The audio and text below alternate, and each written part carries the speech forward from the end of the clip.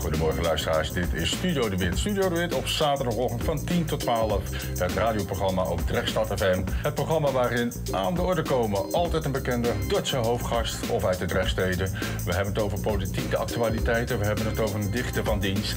Dat is iedere keer een verrassing wie dat zal zijn. Last but not least, we hebben natuurlijk altijd muziek van de hoofdgast. Studio de Wit, iedere zaterdagochtend van 10 tot 12 op Drechtstad FM. De moeite waard voor Dordrecht en de Drechtsteden.